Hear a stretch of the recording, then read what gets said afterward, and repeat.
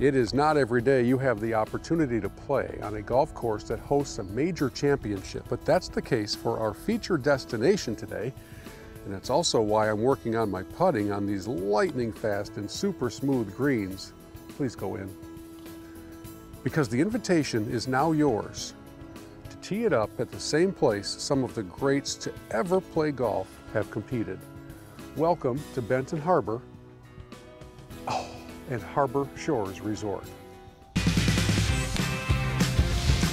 Welcome to Michigan Golf Live Television, celebrating our 20th season of shining the spotlight on the best places to stay, play, and enjoy the greatest game on earth. Stay connected 24 7 to MGL on Facebook, Twitter, our weekly radio show, and podcasts on the all new 4golfersnetwork.com. Hello, friends, and welcome into our program on an absolutely glorious day in Pure, Michigan. I'm Bill Hobson, and I'm so glad to have you along for our conversation today because one of my favorite things to do is share with you powerful stories where golf combines with a community effort to really make a difference. And that's the case here today as our featured destination is Harbor Shores Resort in Benton Harbor. Roughly 530-ish acres that years ago brought together the community, a corporation, and the greatest golfer of all time to revitalize, reclaim, and rejuvenate not just the property, but the entire region. Our story today is the story of Harbor Shores, a major championship venue that's open to the public, so yes, you can come here and play. In fact, the very first thing I want to do today is head right to the first tee so we can give you a feel and a flavor for what Jack did with this property. The before picture wasn't pretty, the current picture is gorgeous. So here we are on the first tee, and it is time to take out the driver as we begin our tour of this beautiful Jack Nicklaus creation at Harbor Shores. You're going to see a lot of this guy in the moments ahead. Jackson Davison is the head golf professional here. Every story, every hole has a story. What's the story of number one?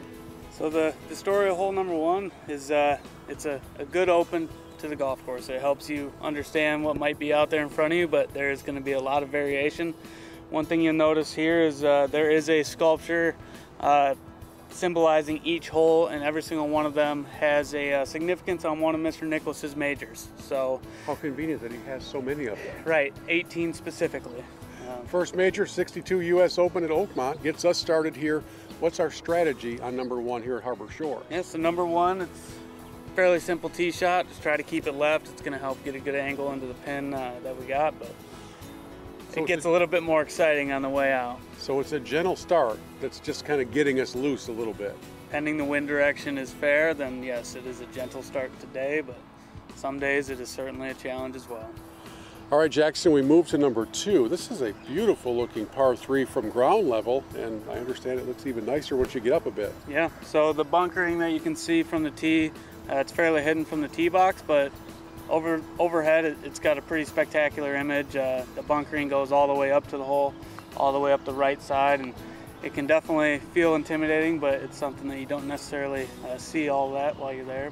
But you don't want to go long, and you got a wind coming out of the north today, so certainly can make for an exciting start. Uh, holes two and three. Let's talk about three for a minute.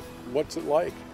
So it's a shorter par four. Uh, it gives you plenty of options off the tee. Uh, if you hit it a little bit longer, you can give the green a shot if you want to hit driver, uh, but be prepared for a fun little chip if you do miss the green. And it also gives you the option to hit an iron off the tee to a comfortable wedge yardage. And it's a really fun wedge shot. Uh, you got the river running up the left, you have OB to the right, so it can certainly uh, pose for a good uh, challenge, but also a great opportunity. You were right about number three being spectacular. Then we step up onto the fourth tee, and I see a par three with some teeth to it. Yeah, absolutely. This is a uh, this is our version of a, a bear trap hole, similar to those that are down in Florida. Uh, we refer to this one that runs a bit of the opposite way, so it runs right to left uh, versus left to right, like some of those holes or those par threes do. We're playing from 192 on these tees today, and it's all carry, man, unless you want to bail out far to the right. Yeah, it gives you at least the option, but if you want to score it well, then you better uh, step up and make committed swing. And one of the things that I know about Jack's designs is that it's not enough just to get to the green, But once you're there, there can also be some more challenge. Yeah, so this is uh, definitely a green where you want to make sure you're putting from the right area and or chipping from the right area, but certainly if you hit a good shot, it is probably one of the flatter ones on the course, so it does give you a good look at it. As we step onto the seventh tee, I have to tell you, Jackson, this looks incredibly intimidating. This is a par four, which I, the first time I drove the course, I thought it was a par five. So break down number seven for us. Yeah, so it's our signature hole. It's a par four that you know provides a pretty tough tee shot, but really the kicker of the hole is the second shot. It goes uphill about 40 feet or so, and, and typically plays into the wind. So it's certainly a tough shot. Now, what is the aiming point for your tee shot? Uh, you're looking uh, just left of the fairway bunkers that you're seeing out there. Uh, there's bunkers out in the dunes that you can aim at as well. Every once in a while, there are holes on a golf course where if you can get away with a par, you feel pretty darn good. I have to think seven is one of those. Yeah, this is definitely one of those where if you walk away with par, it's fantastic. Uh, probably the smallest green on the golf course, uh, which also has the most demanding second shot, so it, it definitely is pretty fun coming out here. And not a bad view beyond the green. Yep, so what you're going to see is uh, you're going to see Jean Klock Park, uh, which was a beach that was not accessible prior to these holes being built. Uh, and that was part of the big development was uh, the agreement that we would maintain that beach uh, and it's transformed into one of the finest beaches in the entire state now. A lot of hard work went into that and a little bit of hard work will go into playing number seven as well. But what a view and what a great part of the story here of the reclamation and revitalization of this community. Yeah, absolutely. I think uh, one of the big parts is that uh, while we do maintain the beach and while we do maintain the park, uh, the community benefits directly through parking uh, revenues, and that stuff goes straight back into the community. And then take us on the, the, the number nine, the challenge of that par five. Yeah, it also uh, starts with the tee shot. You're sitting actually higher up than we are now, um, so you're at an extreme elevation in the tee shot, and it's a, a, really fun tee shot to hit down the hill. And if you hit it in the fairway, you have a chance at uh, hitting it up by the green, but certainly, again, the layup is everything on this uh, on these par fives, and if you can get yourself a good number, it's a really fun wedge shot to hit into the green. All right, he just burned the edge, so now this putt to win the side. Biggest putt of my career. Well, at least you made We've done it. Ladies and gentlemen, that concludes the front nine here at Harbor Shores. Jackson, thank you for the guided tour, man. This is a stunning beginning to our round. Absolutely, and we appreciate you coming out. You guys will have some fun going into the back nine. Yeah, we're going to see him again in a couple of moments because we have a, an historic moment to recreate when we get to number 10, and a little later on we will take you on 10 through 18. But first, when we come back, we're going to paint the picture of this incredible story of Harbor Shores Resort with a very special guest.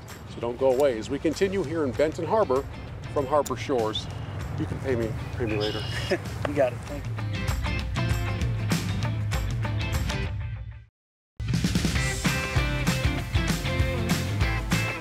Welcome back into the program and our special look at Harbor Shores Resort in Benton Harbor. In a few moments, we'll take you out on the back nine to complete our tour of this marvelous Jack Nicklaus creation. But up first, there's so much more to this story than just golf. This Harbor Shores Resort is part of a revitalization of an entire community.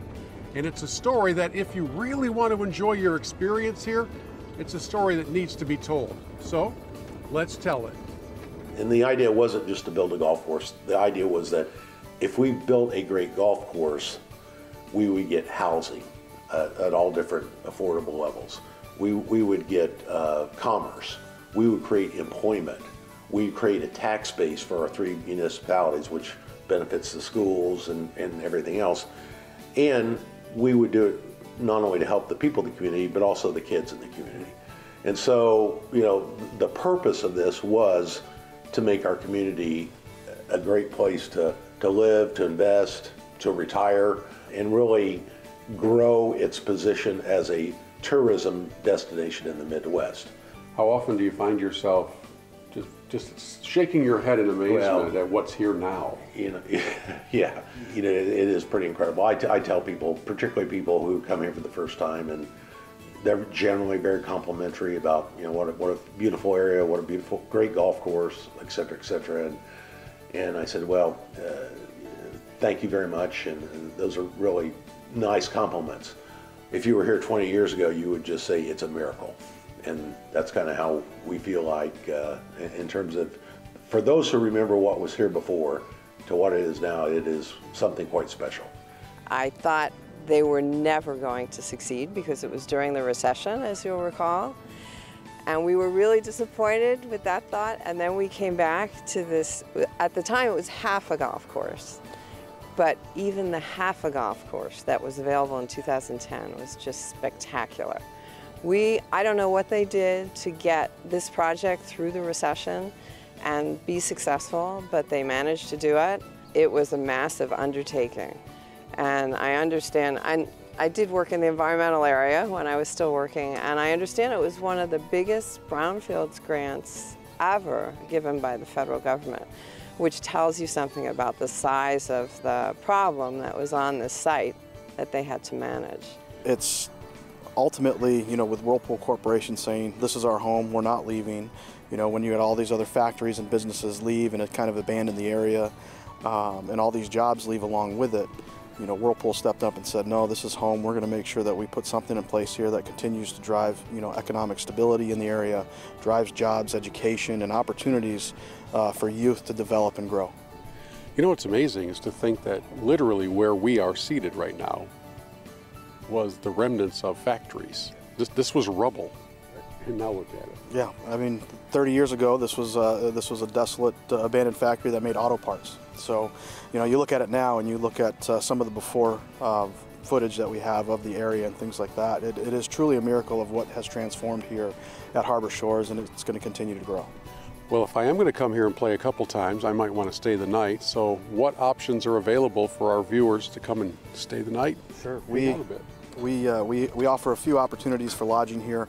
We opened our Champions Villa uh, last year, and those have been going extremely well. We also have a 92 room inn at Harbor Shores that offers uh, a different uh, selection of, of rooms and styles that can accommodate all groups. We have discovered that the restaurant here is really quite good. I don't know if it's a hidden secret or not because we've discovered it, but uh, that's another kind of asset of the club for members and guests. Yeah, absolutely. You know, one of the focuses has always been that, you know, you want to provide, of course, top-notch service and product, and, and whether it's the golf course, whether it's, you know, your interaction with guest services, but also food and beverage. And, you know, the the goal has always been that we want the restaurant to stand on its own and almost be like its own property, that it's not just an asset to the golf club, but it, it, it kind of shines in its own light. What would you say Jack Nicklaus did with this property? Uh, he transformed into something uh, incredible uh, for the community, especially. Uh, that's one of the reasons we joined. You know, we love to play golf, and it also helps the community too. What do you most remember about the first time you set foot on the golf course here at Harbor Shores? Yeah, I mean, when I first came here, not only was I extremely excited to be here, but it was extremely unique to see how the golf course winded through such an interesting and large piece of property. So I was impressed just with the creativity. I was impressed with the remembrance on every hole, and I was impressed with uh, just the quality and, and design of, of what it actually took to build such good holes. Yeah, bringing together 530 something acres in all these different parcels, um, it's kind of a mind blowing design concept just to make it all work. Yeah, so they it, they had to go through a lot to purchase each individual parcel uh, when it came to acquiring this property and start the, the whole process. And you know, with that comes many different renditions of, of the routing, the layout. Uh, it also makes it a little tricky for the designer. Um, so the golf course does wind through a couple different segmented pieces of property. Uh, the first five holes winds through the inlands. Uh, then you get out by the dunes. Those are called our dunes holes. And then you wind through the trees, which kind of gives you a little bit more of a, a Michigan golf type feel. And then you uh, finish along the Paw Paw River, which is extremely fun, creates a lot of excitement. So Ah, it's the most beautiful place to live in the world. It's uh, a lot of nature.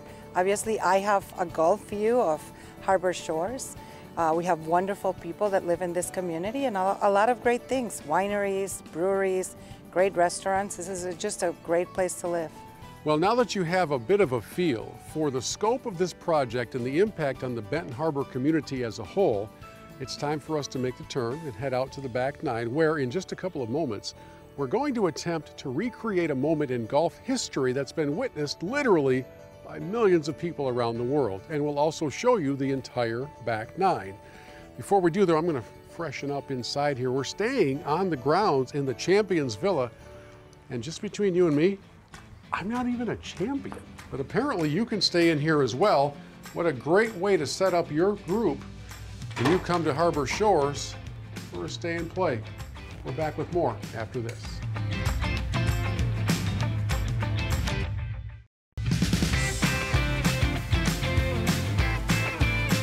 Welcome back into the show as we head down the home stretch of not only this program, but also our round here at Harbor Shores Resort in Benton Harbor, this beautiful Jack Nicklaus masterpiece. On the front night, I had a special guide with me, Jackson Davison. Now, a more special guide here on the back night, the general manager of this wonderful place, Josh Dockstader. And uh, what are we in store for here on the back? Well, you know, Jack got very creative, as you can see on the first nine holes, and it, it doesn't stop there. On the back nine, we, uh, we meander through the woodlands, and then we uh, finish along the Paw Paw River. Uh, and then, of course, we start here on number 10, where uh, one of the most watched videos on YouTube happened where Jack made the putt. And back in 2010, the designer of this golf course, Jack Nicklaus, was basically being called out by his fellow playing partners who said this green is impossible. And Jack did this. Yeah, show me how to do it.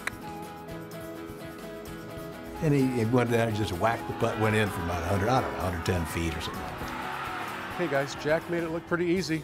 I, I can't imagine that the three of us don't just make one on top of the other, right? So Jackson, go ahead, you're up first. Uh, this is for uh, 50 cents.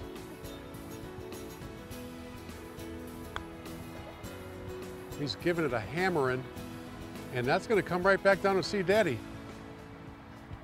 Or it went almost in the bunker. All right, good run at it. Good run at it. Nothing to hang your head on there. I may not get any closer. Let's see. Josh is going to have to give a full shoulder turn to this one. We may be, we may be seeing two of them short. Oh, that one is actually in the bunker. All right. I appreciate you guys leaving the green cleared for me. I'm going to hit this exceedingly hard, I hope. All right, Jackie, I'm going to give you a run for your money.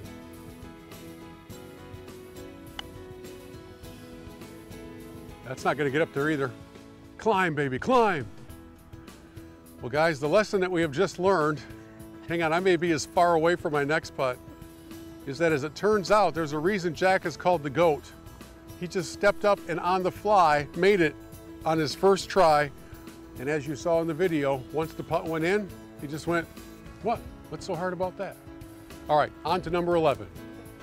This view from the 11th tee is so cool. It's so special, and it's it looks impossible. It's not. It's a wedge, even though some people have been known to miss the green once in a while. What's this 11th hole like for you? What do you? How do you describe it? You know, a lot's based on the wind. Um, you know, if it's coming out of the north, it, it, creates a much more challenging shot, and you know, if it's out of the south, then you know you, you have to flutter something up there. But pin location is everything on 11. If it's in the back right, you have a lot of help from the banks out there. If it's actually up front, it's probably one of the more difficult locations. Some people have been known to visit that Guardian bunker down on the right side, which today leaves a little bit of a challenge for an up and down. Yeah, absolutely. I, you know, um, as you know, you hit it there, and, and, then you hit a great shot, and you use the banks that were put in place on the green to get it close to the hole. It's no editing, part. no editing involved in that shot, by the way. Not at all. In either one. You told me that you love number 12, one of your favorite holes out here. Why is that? Well, typically, you know, uh, Jack designs golf courses that move left to right, you know, and favors a fade and things like that. And, and 12 is a true sweeping left par four, where you have to hit a shot off the tee. Can you hit a fade? Yes, but does it make it more difficult? Yes. Uh, but if you hit a you know a, a, good draw around the bunker line there, you put yourself in a, in a short uh, wedge situation. Um, and it gives you an opportunity to make a birdie and it just sets up really well. As we step on the 14th tee, you may have noticed throughout our round today, both on the front and back nines, young man in the blue Harbor Shores bibs because Justin is our forecaddie. And Josh, do I have your permission to, to bring him in as a guest star for this hole? I'm fully confident he can give you everything you need. Yeah, we want to know the story of number 14. What happened here before it became a beautiful par four? So before coming a par four and the creation, it used to be just almost like a public waste. there was they took 15 million dollars and removed enough trash to fill a football field 70 feet tall. So this was a just a disaster. It was almost a public dump. Wow. Okay, so now it's a beautiful par four. What's the strategy off the tee for playing it? Everything is going to funnel to the right, so aiming on the left half of the fairway here is the play. And then once you hit it out into the fairway, your approach shot, you're going to have a green that just funnels down to the right. Although it is very intimidating with trouble on the left and water on the right, if you just stay focused on the fairway, it is an easier one to hit. The breeze off the lake works in our favor on 15T today, which is kind of nice, a par five. And after uh, Josh hits a bomb off the tee, it's actually reachable with a, with a mid iron. That's rare for a par five. It's not only rare, it's rare for me. Um, no, it, you, like you said, it depending upon how the winds are coming in off the lake. Uh, today, 15 played a little bit downwind, which helped. Uh, but again, the uh, the approach shot to the green is, is, very difficult. It's very demanding. You, you don't have a lot of room to miss, maybe a little bit right of the green. Uh, but if you put it there, and you could secure birdie uh, at the most par. My goal is to not raise the water level by depositing a golf ball in it. Um, and then once we do get across the penalty area, we've got a little bit of challenge left up there on this green because that's what Jack brings us on pretty much every green. Yeah, absolutely. Again, knowing where the pin location is makes a huge difference. And, and you know, I alluded to it before. The more you play it, the better you get at playing the golf course because you know where to hit it and where not to hit it. Um, I'm not saying that every golfer can hit it where they want to. If they could, they'd probably be uh, in a little bit different environment. But uh, at the same time, uh, having that knowledge helps you to play a little bit better around out here and makes you feel a little bit better about your game. We step on the 16th tee. What's the challenge that faces us? 16th tee, another dog leg left, but it's it's all hazard left. So uh, you do have a couple options. You can hit it straight down the middle of the fairway with a hybrid uh, or a long iron, or if you want to take a little piece off of it, hit driver. Uh, with this wind today, it could be very difficult. But then putting yourself in a position, you have a shorter iron into that green. Uh, that green complex, again, offers a lot of different pin locations, and knowing where it is helps. It's very interesting to see how differently the course plays depending on the direction of the breeze. And being this close to the big lake, that's going to be a variable pretty much every time out. It's a different course every time you play. Absolutely. You know, and that's the thing too about weather here off of Lake Michigan. You know, we'll have storms come over the lake and, and they'll just disappear. Um, and very rarely do we have storms that'll that'll build up over the lake and then hit us. So we're very fortunate to be in a position in Southwest Michigan where uh, the weather usually misses us, uh, but we're going to see wind pretty much every day. We talked earlier about how good the par threes are out here. Number 17 especially with that Sunday hole location, is quite a test. Yeah, absolutely. I mean, if you're, and of course today we hit it into a north wind, so it added a few more yards, but you know, with that back right pin location, um, you know, you, you have to be extremely precise on where you hit that shot to give yourself a chance at birdie. I know we're near the lake, so I've chosen the beach for my approach on 17, which is always a fun test of your game and trying to get it up and down for par. And then we've got one left, the home hole, number 18. Great way to test yourself at the end walk us through 18. Yeah, you know, I, I, I kind of go back to, you know, uh, in the KitchenAid Senior PGA Championship, if you're holding the lead by one coming into 18, it's going to test everything you got mentally and, and physically. Um, you have, of course, hazard right with the Paw Paw River. You got hazard left uh, with wetlands. Uh, you have to hit a pre precise tee shot, uh, and then even from there, it's it's no uh, walk in the park on the way home to the green.